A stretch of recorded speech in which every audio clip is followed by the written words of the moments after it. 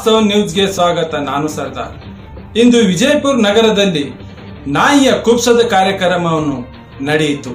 ಪ್ರಕಾಶ್ ಕುಂಬಾರ್ ಅವರ ಮನೆಯಲ್ಲಿ ತಮ್ಮ ಕುಟುಂಬಸ್ಥರು ಹಾಗೂ ಸ್ನೇಹಿತರು ಆಮಂತ್ರಣ ನೀಡಿ ಭರ್ಜರಿಯಾಗಿ ಕುಟುಂಬದವರು ತಮ್ಮ ಮನೆ ನಾಯಿಯನ್ನು ಶ್ರೀಮಂತಿಯಿಂದ ಕಾರ್ಯಕ್ರಮವನ್ನು ಅದ್ದೂರಿಯಾಗಿ ನಡೆಯಲಾಯಿತು.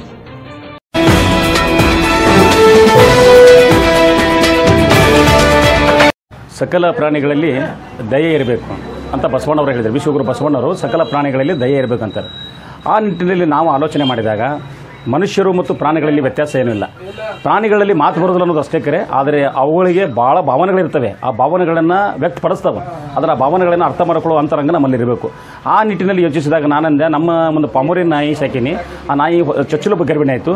ಅದಕ್ಕೆ ನಾಯಿಗೆ ಯಾಕೆ ಸೀಮಂತ ಮಾಡಬಾರ್ದು? ಅದಕ್ಕೂ ಭಾವನೆಗಳಿರ್ತವೆ, ಅದಕ್ಕೂ ಆಸೆ, ಆಮಿಷಗಳಿರ್ತವೆ ಅಂತ ತಿಳ್ಕೊಂಡು ನಾವು ಎಲ್ಲರ ಗೆಳೆಯರ ಜೊತೆ ಬಂದು ಬಳಗದ ಜೊತೆ ಚರ್ಚಿಸಿ ನಮ್ಮ ಮನೆಯೊಳಗೆ ಒಂದು ವಿಜೃಂಭಣೆಯಿಂದ ಎಲ್ಲ ಸಾಂಪ್ರದಾಯಿಕವಾಗಿ ಏನು ಕೊಡ್ತಾರಲ್ಲ, ಹಣ್ಣು, ಹಂಪಲು, ಒಡವೆ, ವಸ್ತ್ರ ಹಾಲು, ಹಣ್ಣು ಎಲ್ಲನೂ ಕೊಟ್ಟು ಭಾಳ ಅದ್ದೂರಿಯಾಗಿ ಒಂದು ಶೋಭಾನ ಪದಗಳನ್ನು ಹಾಡೋದ್ರ ಜೊತೆಗೆ ಶೋಭಾನ ಪದಗಳನ್ನು ನಮ್ಮ ತಾಯಿಯವರು ಹಾಡಿದರು ಮಾದೇವಿ ಕುಂಬಾರ ಅಂತೇಳಿ. ಅವರ ಹಾಡುಗಳ ಸಹಿತ ಎಲ್ಲ ಬಂಧು ಬಗೆನರು ಸ್ನೇಹಿತರು ಸೇರಿ ನಮ್ಮ ಸೋನಿಯಾ ಅಂತ ಹೆಸರಿಟ್ಟಿವ್ ನಾಯಿಗೆ, ಆ ಸೋನಿಯಾಳ ಸೀಮಂತ ಕಾರ್ಯಕ್ರಮ ಯಶಸ್ವಿಯಾಗಿ ಮಾಡಿದೀವಿ.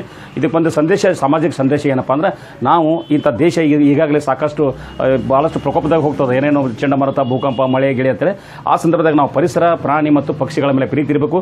ಪ್ರಾಣಿ ಮತ್ತು ಪಕ್ಷಿಗಳನ್ನು ಮತ್ತು ಪರಿಸರವನ್ನು ಪ್ರೀತಿ ಮಾಡಬೇಕಂತ ಒಂದು ಸಮಾಜಕ್ಕೆ ಸಂದೇಶ ಸಾರುವ ನಿಟ್ಟಿನಲ್ಲಿ ಈ ಒಂದು ಸೀಮಂತ ಕಾರ್ಯಕ್ರಮ ಮಾಡಿದ್ದೇನೆ ಅಂತ ಈ ಸಂದರ್ಭದಲ್ಲಿ ಈ ವಾಹಿನಿ ಮೂಲಕ ನಾನು ಹೇಳಕ್ಕೆ ಇಚ್ಛೆ ಪಡ್ತಾ ಇದ್ದೀನಿ ಪ್ರಕಾಶ್ ಕುಮಾರ್